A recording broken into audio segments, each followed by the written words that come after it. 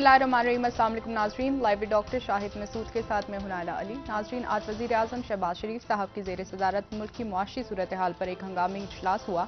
दूसरी जानब इमरान खान साहब आज कहते हैं कि आसिफ अली जरदारी साहब हमारे एम पी एस को पचास करोड़ की पेशकश कर रहे हैं, जबकि वज़ीर ख़जाना मुफ्ता इसमाइल साहब की जानब से आज कहा गया है कि आई एम एफ़ के मुतालबे पर बिजली महँगी करने के पाबंद है। इस समेत दिन भर जो अहम मौजूद रहे उन पर बात करेंगे। हमारे साथ स्टूडियो में मौजूद होंगे डॉक्टर शाहिद मसूद। असल डॉक्टर साहब। समझिए आपको भी सर नून लीग की जानब से आज इल्ज़ाम लगाया गया कि हमारे एम पी एस को ख़रीदने की कोशिश की जा रही है। वहीं पी टी आई भी यही इल्ज़ाम लगाते हुए हमें दिन भर नज़र आई। पार्टी सरबराहान भी मुलाकातों में मसरूफ़ हैं। क्या बाईस तारीख को वज़ीर अला का इंतखब शफाफ तरीके से होना अब मुमकिन है? देखिए मैं तो अभी ये आ, सिर्फ़ देख रहा था कि जो रुपया है वो कहाँ तक इस वक्त एग्जैक्ट कहाँ पे दस्तयाब है कितने में? तो दो सौ छब्बीस या अट्ठाईस तो शायद इंटर बैंक हो गया था। जी सर। और 242 की बात हो रही थी लेकिन फिर वो 250 250 की बात हो गई। सर। दो 250 रुपये का एक डॉलर। और इसका मतलब ये है कि हमने चूँकि पेट्रोल ख़रीदना है और वो डॉलर्स में ख़रीदना है तो इसका मतलब है कि तकरीबन डॉलर मुझे नहीं अंदाज़ा लेकिन ये कहा जा रहा है कि पेट्रोल की कीमतें जो हैं वो दोबारा शायद चालीस से पचास रुपये बढ़ानी पड़ जाएँ क्योंकि रुपया गिर रहा है नीचे। ये आईएमएफ के मा, मा, मामला से अलग मामला हो रहा है। हम्म। और मामला क्या तसादम की तरफ़ जा रहे हैं? क्या तय हो गया है कि तसादम होना है? क्या उसके बगैर कोई रास्ता अफाम तफीम से निकलता नज़र नहीं आ रहा? क्योंकि आज जो बात हुई है उसमें तो अल्लाह के कहर तक मामला चला गया कि अगर ये झूठा है तो अल्लाह का कहर हो और अगर तो अल्लाह के कहर तक बात चली गई है। शेख रशीद साहब से ज़रा बात कर लेते हैं। शेख साहब सलामकुम जी डॉक्टर साहब वालेकुम अस्सलाम। शेख साहब मुझे ये बताइएगा कि मीशत तो बिल्कुल जमीबोस हो गई है। और अगर अगर आ, ये नतज उस दिन तब्दील हो जाते हैं यानी तब्दील इस तरह से होते हैं कि बहुत से लोग नहीं आ पाते और जो इमरान खान साहब कह रहे हैं कि 50 करोड़ या इससे ज़्यादा की ऑफ़र है और लोग निकल जाते हैं इस्तीफ़ा दे जाते हैं। इस्तीफ़ा दे दिया ना उन्होंने अता तारड़ साहब ने एक इस्तीफ़ा पेश किया। और वहाँ से हमजा शहबाज जीत जाते हैं तो फिर क्या हालात डिवेलप होंगे? हालात तो किसी के काबू में नहीं है। हम्म। गंदम नायाब होती जा रही है घी लोगों ने तड़का नहीं लगा रहे उबला हुआ खाना खा रहे हैं। और पेट्रोल की अभी आप बात कर रहे हैं जब मैं चला था पिंगी से तो उस वक्त तो एलसी खुल रही थी एक सौ बयालीस रुपए में दो सौ बयालीस रुपए डॉलर की। जी। लेकिन सबसे खौफनाक जो बात है कि स्टेट बैंक जो है बहुत सारी लोगों की एलसीज जो कि खाम माल मंगवाते हैं यानी कारखाने 400 बंद हो गए हैं 100 200 और बंद हो जाएँगे। सो मुल्क पाकिस्तान का अपनी ज़िंदगी के क्यामत खेज आप कह रहे हैं बहरान की तरफ़ जा रहे हैं। हम्म। और इसमें मेरा तो ख्याल था कि 45 दिन या 30 दिन में 45 से फिर मैं 30 दिन पे आया। लेकिन जितने हालात में खौफनाक देख रहा हूँ शायद ये तीस दिन के पैंतालीस दिन की बजाय तीस दिन के अंदर ही कुछ फैसले करने पड़े। मुल्क तो जी नहीं चल रहा। मुझे नहीं मुझे मुझे साहब मैं अपने सवाल पे दोबारा आ रहा हूँ। मैं आपसे कह रहा हूँ कि अगर लोग पीटीआई के पीटीआई के लोग अगर उनके इस्तीफे निकलते हैं ठीक है और या वो गायब हो जाते हैं। हुकूमत कॉन्फिडेंट है। हमजा शहबाज साहब कॉन्फिडेंट हैं। और वो वहाँ पर पैसे आ, हो सकता है उन्होंने ना दिया हो सकता है किसी कोई कारोबारी शख्सियत दरमियान में इन्वॉल्व हो जिसका नाम इमरान खान साहब भी ना ले सकते हो। जी। नाम आसफ जरदारी है। जी। देखें खरीदो फरोख्त के जो माहिर हैं ये शरीफ खानदान तो सिर्फ़ कमाना जानते हैं लगाना नहीं जानते। नहीं लेकिन जरदारी साहब भी कुरान उठा लेंगे मैं तो नहीं कर रहा। मैंने आपसे हाँ। बात की कि कुछ दरमियान में कोई कारोबारी शख्सियत भी तो हो सकती है ना? ज़ाहिर है वो हमेशा उनके फ्रंट मैन होते हैं। उन्होंने हमेशा अपने फ्रंट मैन रखे शुगर मिलों से लेके और जायदादों से लेके नहीं लेकिन कोई ऐसे ऐसे ही शख्सियत भी हो सकती है नामी ग्रामी जिसका नाम इमरान खान साहब भी ना ले सके। क्या ये मुमकिन है? मुझे नहीं पता इमरान खान किसी से घबराता तो नहीं है लेकिन आसम जरदारी के पास एक नहीं कई शेरे हैं। खरीदो फरोख्त की कई मंडियाँ हैं और कई कमीशन एजेंट जो हैं आड़ती उसके पास हैं। लेकिन मुल्क को बचाना बहुत ज़रूरी हो गया है। सियासत से बात आगे निकल रही है। ये कहना कि तख्त लाहौर की सियासत होगी या मुल्क की सियासत होगी फिर कुछ और भी हो सकता है और ये दिन हफ़्ते बड़े अहम है और इसमें बहुत जल्द फैसले करने होंगे वरना लोगों के हाथ जो हैं वो गिरेबानों तक पहुँच यानी आपको ये लग रहा है कि हमजा शहबाज जीत जाएँगे परसों जीत सकते हैं। मुझे नहीं लग रहा मुझे अल्लाह से पूरी उम्मीद है कि इंशाल्लाह परवेज अलाई जीतेगा करने जो कुछ करना है एक दो वोटें दो चार वो तो फिर ये अपनी सियासी कबर आठ शेख साहब आठ सात आठ फिर देखिए हमें भी कहा जा रहा था कि हमारी सीटें सिर्फ़ सात हैं जो हम्म। चार जिन्होंने जीती हैं वो भी धांधली से जीती हैं हम्म। लोगों का खौफ जो है लोग कौमी शूर इतना बेदार हो चुका है कि इसके सामने कोई खड़ा नहीं होगा। और ये जो लोग लोटे बने ये ज़िंदगी भर अपने हलकों में नहीं जा सकते घरों में कैद रहेंगे। और अल्टीमेटली इमरान खान ये सारी बातें देख रहा है और इनको चाह रहा है कि घी सीधी उंगली से निकल आए। ना निकला तो फिर वो टेढ़ी उंगली से भी निकालने की कोशिश करेगा। तो उसका नतीजा क्या निकलेगा? उसका नतीजा निकलेगा मुल्क में अदम इस्तेकाम। सियासी अदम इस्तेकाम जो है मुआशी सलामती का मसला पैदा कर सकता है। अगर मुआशी सलामती का कौमी मसला पैदा हो जाता है तो फिर तो बहुत बड़ा सवाल पैदा हो जाता है। फिर इसमें ये सारे लीडर शीडर फारग हैं। अच्छा मुझे ये बताएँ कि शेख साहब अगर इमरान खान साहब फ़र्ज़ करें एक एक सिनेरियो मैं देख रहा हूँ क्योंकि उनका जो ट्वीट है उसके बाद आ, मेरी भी कुछ लोगों से बात हुई। तो अगर ऐसी कोई सूरत निकलती है हुकूमत कॉन्फिडेंट है और कह रही है कि आपके लोग ही हैं और ये गायब हो गए और जो भी हुआ। मैं सिर्फ़ ये कह रहा हूँ कि इमरान खान साहब फिर क्या करेंगे? कॉल देंगे आप कह रहे हैं और अदम इस्तेकाम पैदा होगा। तसादम होगा। मुझे ये तो अभी नहीं पता कि इमरान साहब क्या करेंगे। कल मेरी मुलाकात होगी लाहौर में मैं जा रहा हूँ। हम्म। और अल्टीमेटली इमरान खान ने साबित किया है कि उसने तन तने तनहा ये चौदह पार्टियों के गंदे अंडों को और ये नहीं हो सकता कि ये सारे काम फेयर हुए हैं गिव एंड टेक हुई है लोगों पे बहुत इन्वेस्टमेंट हुई है लेकिन रिज़ल्ट मुख्तलिफ़ निकला है। ग्राउंड हम्म। रियलिटी में इमरान खान की हकीकत को मजबूती को और उसकी मकबूलियत को और मासिस वाइस को अब तस्लीम करना होगा। जितनी भी रुकावटें खड़ी करेंगे उससे उन लोगों के लिए बहरान तो पैदा हो सकता है। इमरान खान के लिए बहरान नहीं पैदा होगा। शेख साहब बहुत शुक्रिया। Thank you very much Allah खैर करे कि ये मामला जिस अंदाज में भी आ, हम्म। ये मामला इलेक्शंस की तरफ़ जाना चाहिए सबको बैठ के। एक जनरल इलेक्शंस की तरफ़ क्योंकि सियाती देखें इसमें जो मेरे पास अल्लाह करे कि इतला गलत हो लेकिन मेरे पास ये इतला है कि वाकई कुछ लोग जो हैं वो इधर उधर और सर शेख रशीद साहब। ने कहा है कि अगर सही तरीके से मामला हल नहीं होते तो फिर उन्होंने दूसरी ऑप्शन की बात की है। दूसरा ऑप्शन क्या हो दूसरा ऑप्शन तो मुझे नहीं पता कि इमरान खान साहब क्या लेकिन इमरान खान साहब के पास ये जो इतला है ये जो उन्होंने ट्वीट किया है हाँ। ये सिंध हाउस टू है ये। सिंध हाउस टू ये, ये जो पैसा। जी बिल्कुल।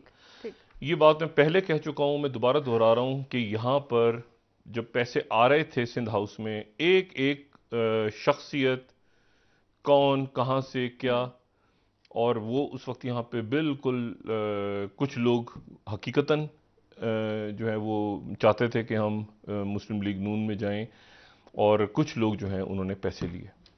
पैसे और पैसे उन पे लगे और यहाँ पर एक एक रिकॉर्ड जो है कुछ ने यहाँ लिए कुछ ने बाहर लिए आगे पीछे वो निंजा ट्रेटर्स के पास एक एक चीज़ है। और ये जो बात है ये भी इमरान खान साहब का कहना दुरुस्त है कि उसमें लोग खुद यानी को इस्तीफ़ा दे गया। देखें ना एक मेरी बात सुने मुझे ये बताएँ। मैं इल्ज़ाम किसी पे नहीं लगा रहा इस वक्त। मैं सिर्फ़ ये बात कह रहा हूँ कि चाहे वो पीटीआई के लोग हों इमरान खान साहब को बहुत अरसे पहले मैं कहता था इस प्रोग्राम में जिस पे बड़ी बदमाशियाँ मौजूद है आपके इर्द गिर्द। बिल्कुल ठीक है ना? तो आप ज़रा देखें अपनी बात यह है कि ये अगर जो है वो जरदारी साहब भी कहेंगे मैं भी नहीं हूँ। भाई कॉमन फ्रेंड्स होते हैं ना जो इमरान खान साहब के भी साथ हैं और वो जरदारी साहब के भी साथ हैं और नवाज़ शरीफ साहब के भी कोई भी शख्सियत हो सकती है। तो बात ये उनके थ्रू हो रहा ठीक है? तो बात यह है कि और उसमें जो है तो ये ये इमरान खान साहब को सरप्राइज़ मिल सकता है। सारे सियासतदान का हमने तो नहीं किया भाई एक मिनट। हमने कहा किया उसने कहा किया उसने कहा किया? अपनी मर्ज़ी से। और एक एमपी जो है एक एमपी कोई भी लेकिन कह कि यार एक मिनट है जाओ यार इमरान खान के साथ जाके मुझे पता नहीं कितने दिन हुकूमत चले ना चले इलेक्शन कॉल हो जाए क्या पचास करोड़ चालीस करोड़ पचास करोड़। ये ये फिगर भी एग्जैक्ट यही है चालीस करोड़ पचास करोड़ जी। चालीस करोड़ पचास करोड़ में पकड़ के मैं इधर से इधर चला जाऊँ या उधर से उधर कहीं भी किसी भी तरफ़ चला जाऊँ। हम्म। मतलब ये जो है ना ये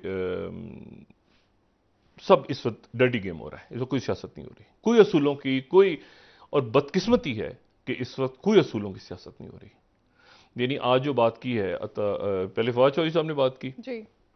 अता तराड़ साहब ने बात की उसमें ये उन्होंने कहा कि मैं अगर झूठ बोल रहा हूँ मैं इस जुमले को दोहराना नहीं चाहता। उन्होंने कहा मैं झूठ बोल रहा हूँ तो अगर ये झूठ बोल रहा है तो इसके ऊपर खुदा का अजाब और कहर और मैं झूठ बोल रहा हूँ तो मेरे ऊपर खुदा का अजाबों का मतलब ये जो बात है ये मैं अतल्ला तारड़ साहब से ये जुमला इतना बड़ा अल्लाह सब पे अपना करम करे ये सियासत हो रही है।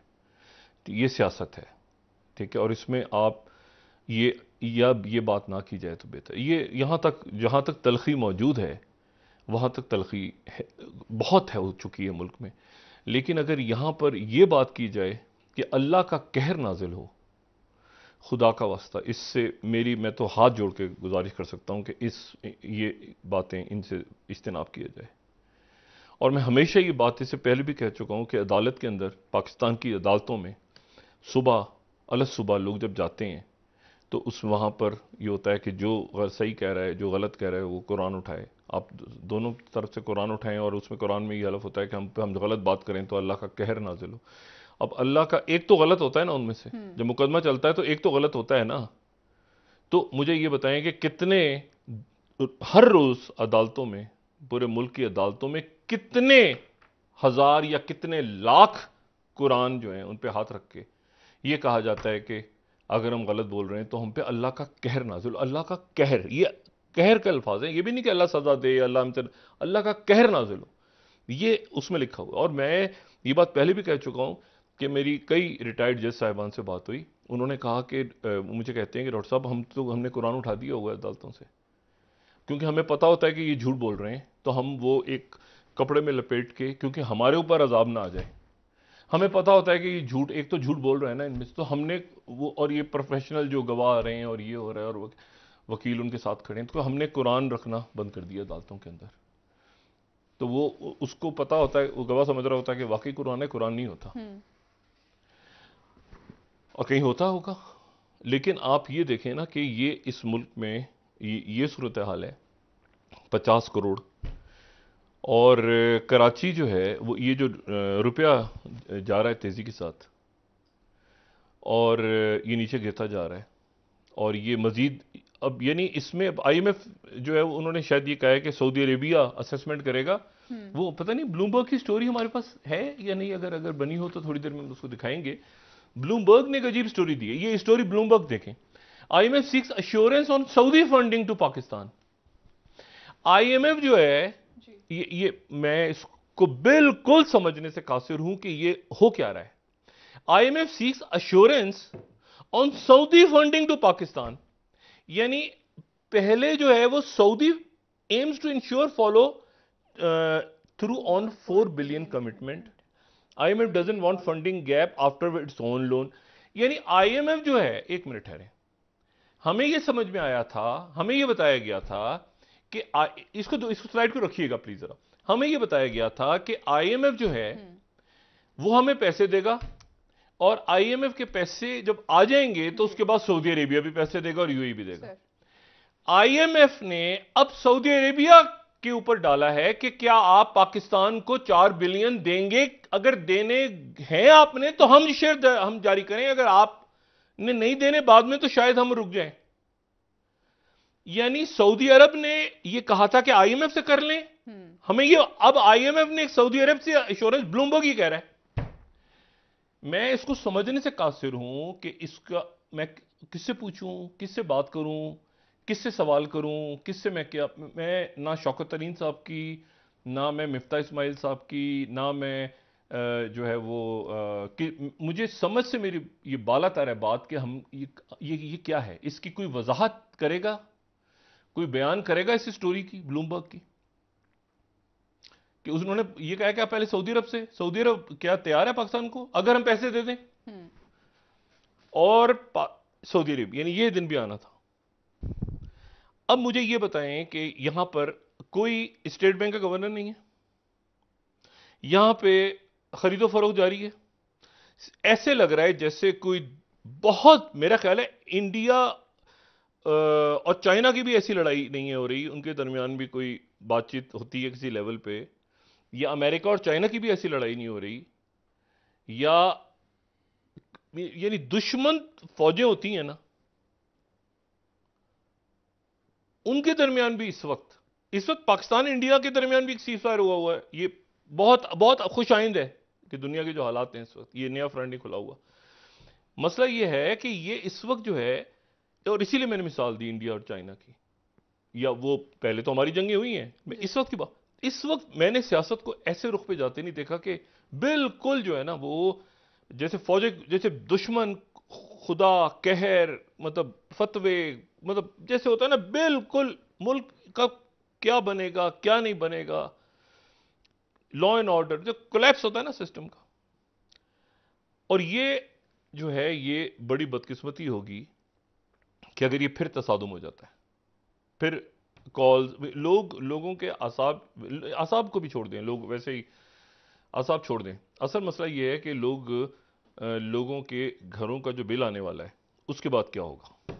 फिर बिजली आई अभी मिफ्ता इस्माइल साहब ने कहा कि आई आईएमएफ ने कहा कि बिजली बिजली अलग है। बिजली अलग है डॉलर देकर आप पेट्रोल लेते हैं।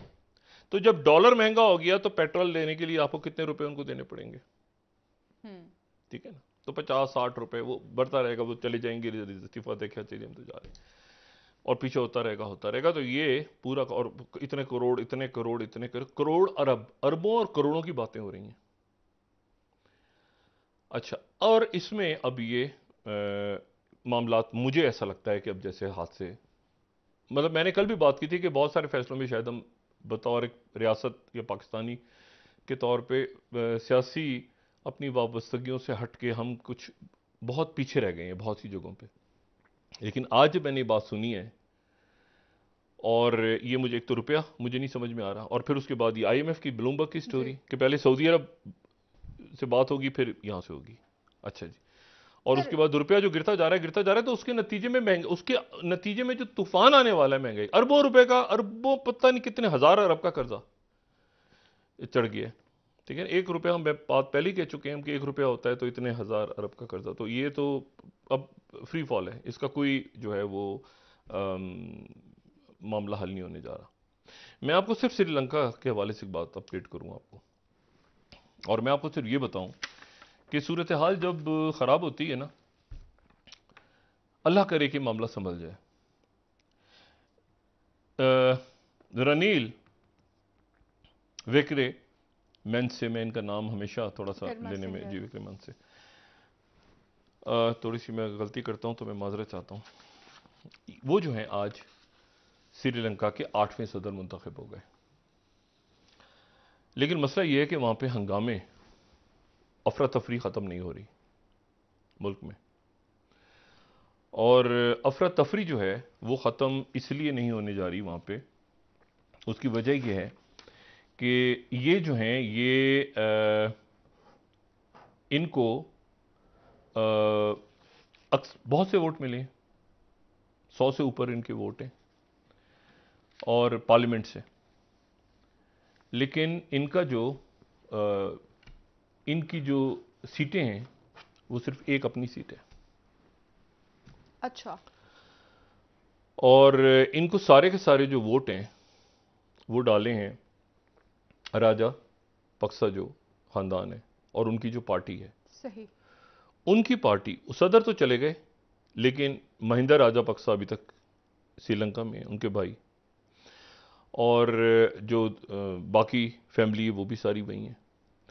तो उन्होंने जो है उनकी पार्टी चूँकि पार्लियामेंट में अक्सरियत में है तो उनकी पार्टी ने इनको वोट दे के ये जो है वो सदर बना दिए। अच्छा इसमें जो है हमारी दुआ है बरादर मुल्क है कि श्रीलंका ये संभालने सूरत हाल को। ये इससे पहले पाँच दफ़ा वज़ीर आज़म रह चुके हैं और इन्होंने कभी अपनी मुद्दत पूरी नहीं की बतौर वज़ीर आज़म। और ये छठी दफ़ा वज़ीर आज़म बने थे लेकिन वो भी मुद्दत पूरी नहीं हुई सदर बन गए। और ये सदर बने एक सीट के साथ। अच्छा मुजाहरीन जो हैं ये वो सदर हैं जिनका घर जिनका घर बतौर वज़ीर आज़म जला दिया था। ठीक। ठीक है? जिनके घर को नज़र आतिश कर दिया था। और इन ये सदर तो इलेक्ट हो गए हैं लेकिन मुजाहरीन दोबारा सड़कों पे मौजूद हैं और वो कह रहे हैं मतलब उनके जो लीडर हैं हम्म। वो कह रहे हैं कि ये जो हैं ये राजा पक्से नहीं है ये उनसे आठ या दस गुना ज़्यादा जो है वो एक लफ्स इस्तेमाल कर रहे हैं जो मैं नहीं करना चाह रहा यहाँ पे मगर वहाँ पे जो नारे लग रहे हैं और जो बातें हो रही हैं वो मुजाहरे नहीं उठ रहे।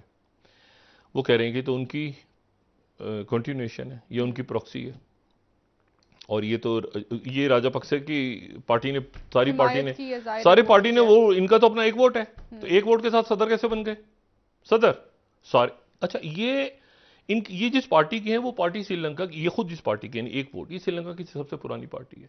अच्छा। लेकिन और इनके वालिद भी बड़े मतलब वहाँ के मीडिया बड़ा मीडिया ग्रुप एक उसके जो है वो मालिक रहे हैं और इनकी फैमिली ये 77 से गालिबन पॉलिटिक्स में लॉयर हैं बड़े ज़बरदस्त इनकी पर्सनैलिटी दुनिया इनको जानती है वज़ीर आज़म रहे हैं टेक्नोक्रेट के तौर पे ज़्यादा इनको कहा जाता रहा है।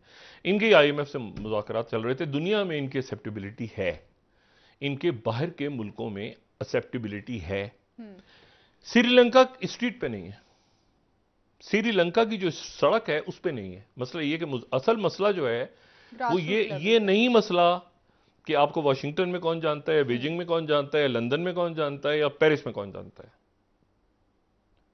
या आपको तेहरान में कौन जानता है या आपको अबू धाबी में या आप इशू ये है कि आपको श्रीलंका की सड़क पर बैठा हुआ आदमी जो है वहाँ पर क्या फील वहाँ पर ये सूरत आल के मुजाहरे और इसके नतीजे में वो फिर बढ़ रहे हैं। अच्छा उन्होंने फिर ये भी कहा कि इसने जो हमारे ऊपर जो इमरजेंसी हुई जो क्रैकडाउन हुआ बार बार राजा पक्सा के साथ वो तो इन्होंने ये करवाते रहे।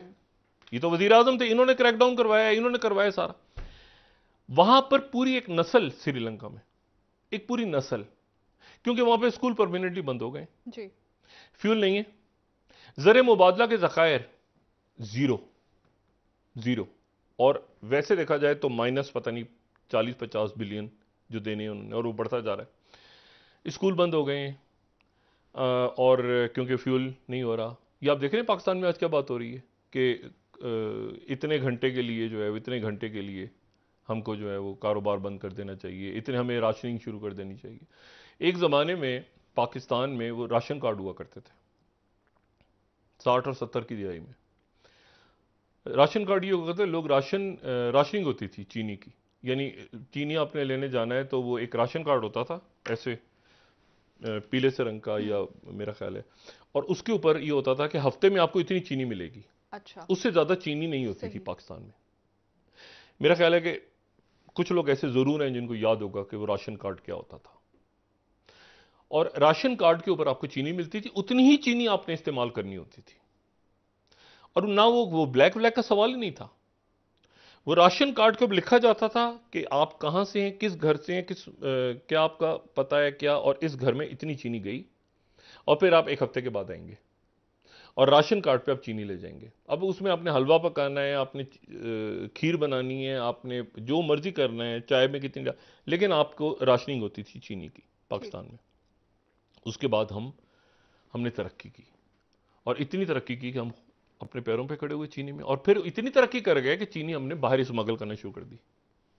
और स्मगल करके फिर चीनी बाहर से मंगवानी शुरू कर दी वापस। महँगे दामों। मतलब मतलब ये एक एक अलमिया है जिसकी तरफ़ हम बढ़ रहे हैं। बदकिस्मत बढ़ जा चुके हैं। अच्छा मतलब हम राशन कार्ड से खुद कफील हुए खुद कफील से इतना हुए कि बाहर भेजनी शुरू की बाहर भेजने के बाद मंगनी शुरू कर दी। और फिर बाहर से मंगवानी शुरू कर दी। महँगे दामों।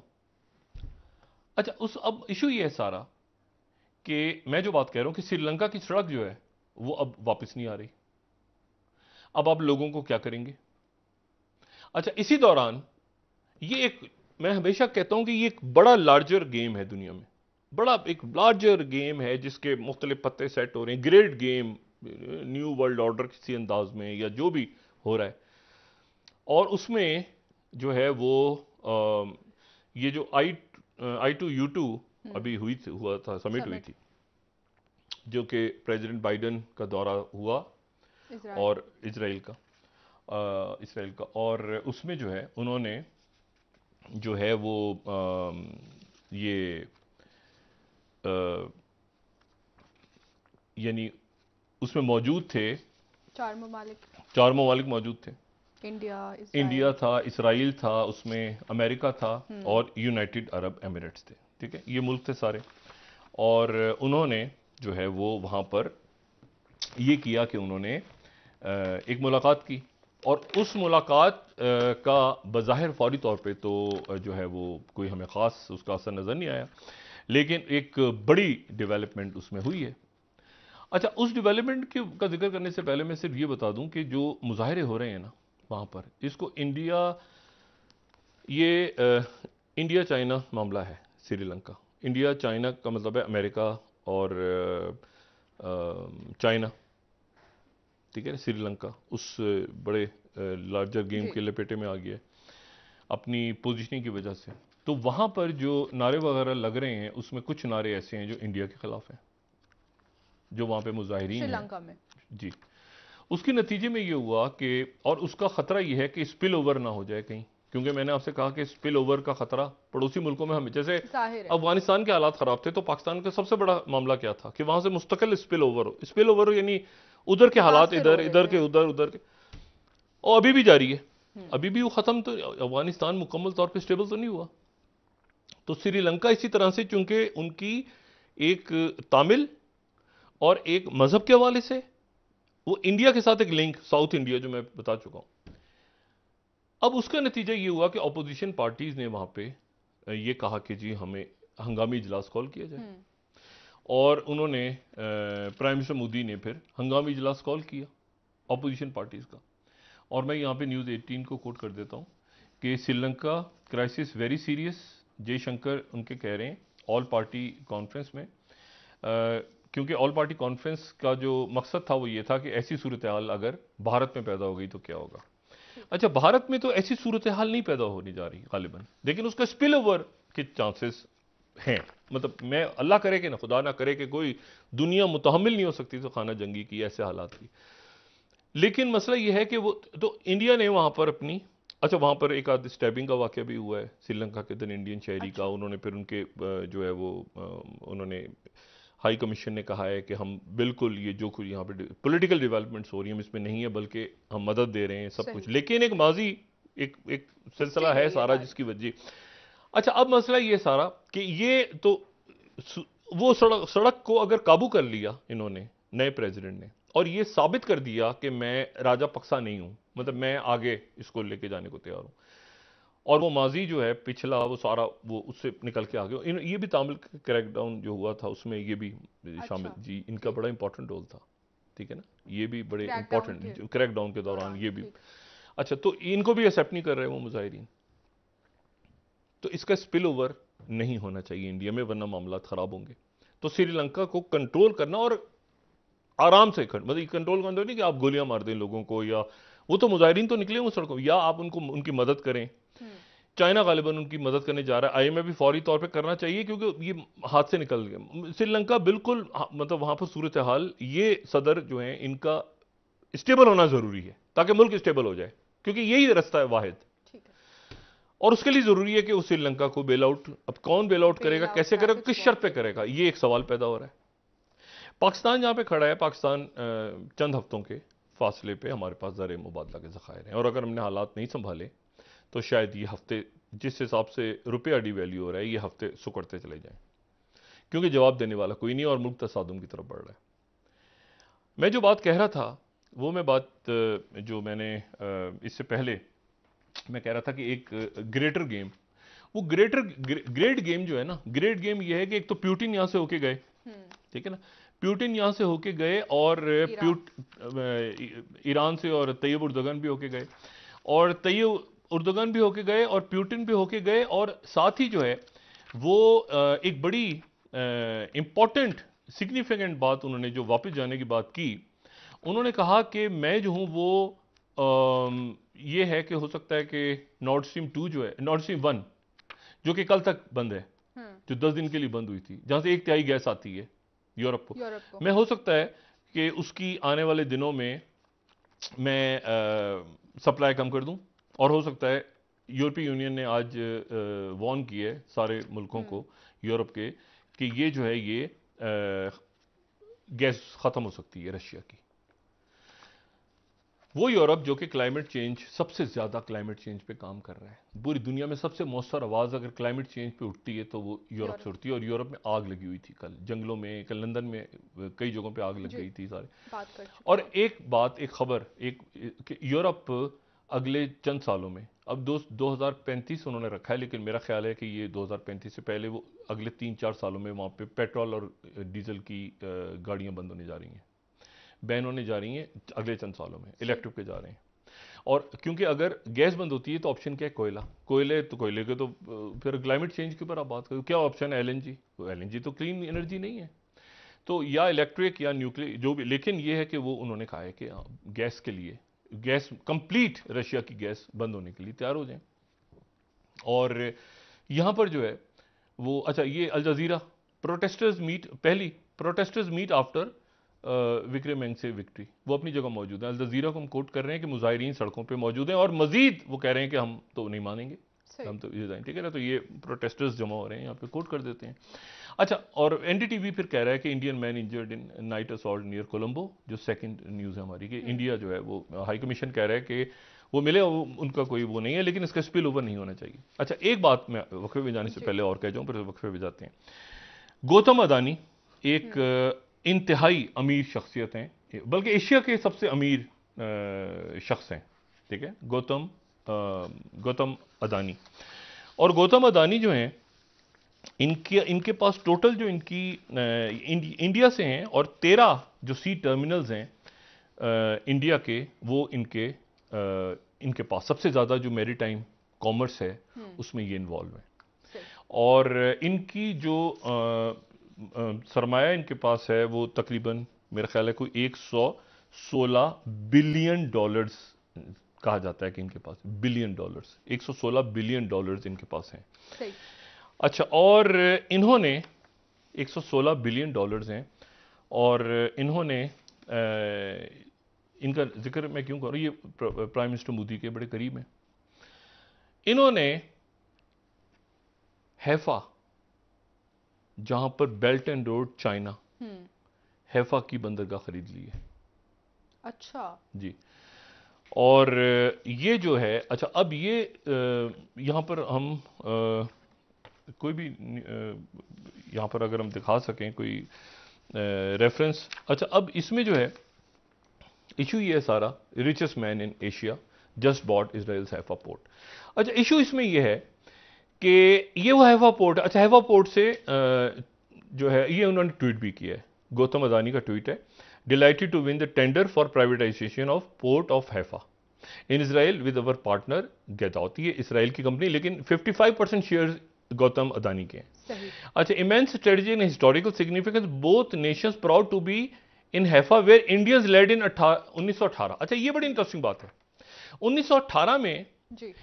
जब बरतानिया का राज था इस पूरे बरतानिया का राज था तो हैफा की बंदरगाह से हिंदुस्तान की फौज जो गई थी क्योंकि हिंदुस्तान से भी गए थे ना पहली जंग अजीम में लड़ने के लिए दूसरी जंग अजीम में भी गए थे हम्म। तो पहली जंग अजीम में जो गए थे तो पहली जंग अजीम में हैफा की बंदरगाह इस्तेमाल हुई थी सल्तनत उस्मानिया के खिलाफ अच्छा अब इन्होंने हैफा का जो ये जो 1918 लिखा है ना हम्म। तो ये मैसेज जो है ये टर्की को भी है कि 1918 उस बंदरगाह पर तारीखी बंदरगाह पे गए जहाँ पर इंडियन आर्मी ने जी इंडियन आर्मी 1918 में जहाँ पर उन्होंने लीड किया था। अच्छा 1918 में टर्की वो सल्तनत उस्मानिया। हम्म। ये उस वक्त आ रही है चीज़ें जब टर्की के प्रेसिडेंट जो है वो ईरान में। हम्म। अच्छा और इसमें इंपॉर्टेंट बात यह है कि इसमें जो ये बेल्ट एंड रोड के लिए इंपॉर्टेंट है। इशू ये है कि इसमें एक जगह ऐसी है ये इन्होंने शायद पचपन साल के लिए लीज पे ले ली एक जगह। लेकिन एक जगह ऐसी है जो करीबी मौजूद है और यहाँ छठ जो सिक्स फ्लीट है अमेरिका का उसका एक हिस्सा यहाँ मौजूद है। अच्छा। और इसराइल की भी वो सब मेरीज मौजूद हैं जो second strike second strike nuclear के लिए इस्तेमाल हो सकती है हैफा पे। सेकंड स्ट्राइक ये पहली स्ट्राइक हो जाए तो खुदा ना खास्ता कहीं पर भी हो तो किसी जगह तो फिर दूसरी स्ट्राइक के लिए जो जो आ, होता है हम्म। कि जी जो जहाँ पे रखी जाती है सब पानी के नीचे या इधर उधर ताकि दूसरी स्ट्राइक पहली स्ट्राइक के बाद कुछ कुछ बच जाए कि दूसरी स्ट्राइक हम्म। करें हम्म। तो आ, वो फैसिलिटीज़ हैफा पे बयान होती हैं इसराइल की और प्लस ये कि वहाँ पर चाइना मौजूद है अभी भी हैफा एक हैफा पोर्ट है एक हैफा बे है ठीक है वो 25 साल के लिए चाइना मौजूद तो वो एक करीब वहाँ पर जो है। अब इस पे हाँ, अच्छा, अब इस पे एग्जैक्ट क्लैरिटी चाइना की बेल्ट एंड रोड क्योंकि वो अच्छा इन्होंने इसराइल ने प्रेशर में आके प्रेशर में आके इन्होंने चाइना की बिड नहीं ली। हम्म। चाइना उसकी बिडिंग भी कर रहा था। अच्छा। चाइना ने भी बिड डाली उन्होंने चाइना की बिड रिफ्यूज कर दी। यूई ने विड्रॉ कर ली। और इस जो इसराइल एक्सपेक्ट कर रहा था इसराइल पचपन परसेंट ज़्यादा इन्होंने पैसे दे दिए। हम्म। और ये उठा ली। सही। अब सवाल अब ये वहाँ पर इंडिया अब उसका असर जो है फौरी असर उसका वो यहाँ पर आपको इंडो चाइना रिलेशंस में और पैसिफिक में आपको नज़र आएगा सही हो गया। सर ब्रेक का वक्त हुआ डॉक्टर साहब। जो मैंने आपसे कहा था ना कि डायलॉग टूट रहा है ये डायलॉग खराब हो रहा है इंडिया हम्म। और चाइना का। हम्म। उसमें बहुत सारे फैक्टर्स हैं। बिल्कुल ठीक है, है? उधर से उधर उधर इंडिया गया इंडिया मिडिल ईस्ट में?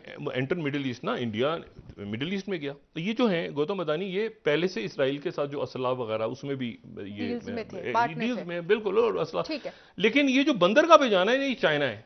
ये एक मैसेज तो चाइना इधर अब चाइना क्या रिस्पॉन्ड करेगा? बिल्कुल सही। सर सर ब्रेक ले लेते हैं वापस आके बात करेंगे आपसे मजीद नाजरीन। और पाकिस्तान में क्या डिस्कस हो रहा है? कौवा हलाल है या हराम? ठीक हो गया डॉक्टर साहब नाजरीन एक ब्रेक हमारे साथ रही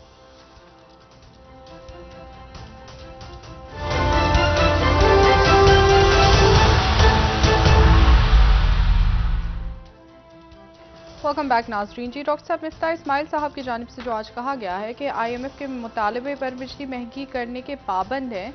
अभी तक कहा जा रहा था कि डॉक्टर साहब, सारी सिचुएशन अंडर कंट्रोल है और मुआशी बेहतरी आने वाली है आने वाले दिनों में, लेकिन अभी भी शराइ और अभी भी वही मुतालबे नहीं, कोई किसी किस्म की माशी सूरत हाल बेहतर नहीं होने जा रही और हमें खुद फरेबी से निकलना चाहिए और काफ़ी दिन से ये बात हो रही है और मेरा ख्याल है अब तो थोड़ी सी मुझे भी अजीब सा ही लगता है कि मैं ये बात कहूँ कि सियासी अदम इसकाम के बग़ैर जो है वो माशी अदम इसकाम आ ही नहीं सकता। और मुझे ये भी कहते हुए बड़ी अजीब सी बात लगती है और मेरे ख्याल से इस बात को कई दो तीन साल हो गए हैं शायद कि मैं बार बार कह रहा हूँ कि ख़त्े के हालात दुनिया के हालात वो पाकिस्तान को देखें आप ये। मसला ये है कि वहाँ पर मतलब इस वक्त हर मुल्क को अपनी पड़ी है वो कहते और अपनी ही पड़ी होनी चाहिए। मतलब भारत को सिर्फ़ ये सोचना है कि भारत को अपना ही सोचना है। ठीक है। मतलब सऊदी अरेबिया अपना सोच रहा है। मतलब मुल्क अपना सोच रियासतें चाइना अपना सोच रहा है। मतलब मुल्क अपना सोच रहे हैं। अब देखें यूरोप में मैं आपसे कह रहा हूँ तस्वुर भी नहीं कर सकता था।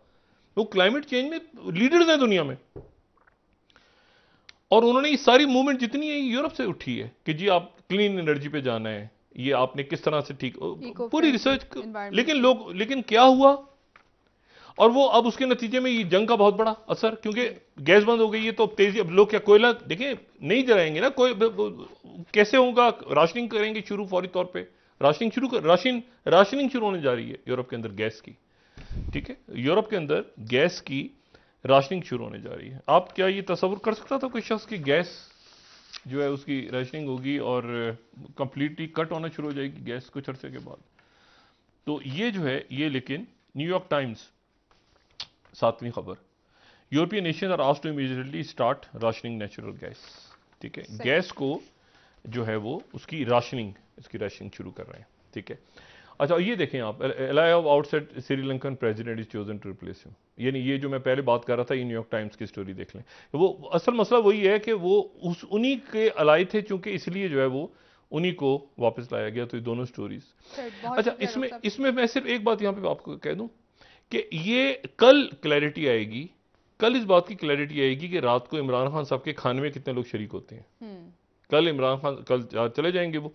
रात को वो जो खाना देंगे तो कल क्लियर हो जाएगा कि उनके खाने में अच्छा जो इस्तीफे हैं इस्तीफे देन जो हैं वो खरीदे गए वो तो जो जो- वो ये उनका नुकता नज़र क्या बन रहा है कि जी हम पीटीआई के थे।